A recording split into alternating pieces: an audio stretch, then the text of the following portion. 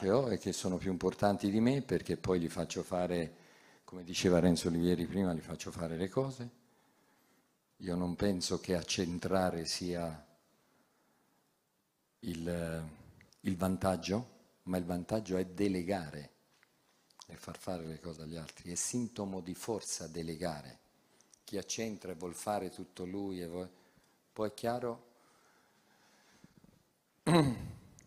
che il, il, timbro finale ce lo metto io perché è il ruolo che però se uno dice, come, come abbiamo anche sintetizzato prima, se uno dice cose intelligenti, se c'è un calciatore che parla nelle riunioni si va lì e si fa vedere dieci minuti, un quarto d'ora di video, le pressioni. Le pressioni sono state queste domenica, tum, tum, tum.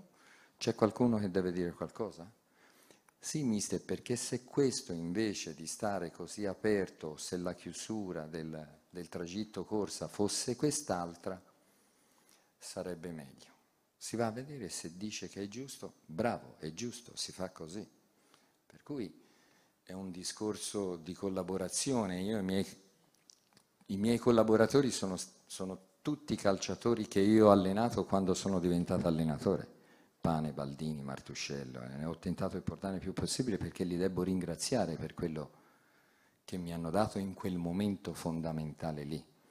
E penso più o meno, qualcheduno, di avercela fatta.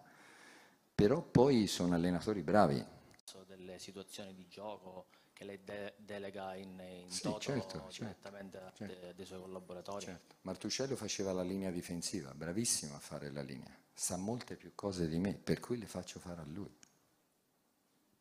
Ne sa più di me. A, a volte si dice... Il tu hai paura? Eh?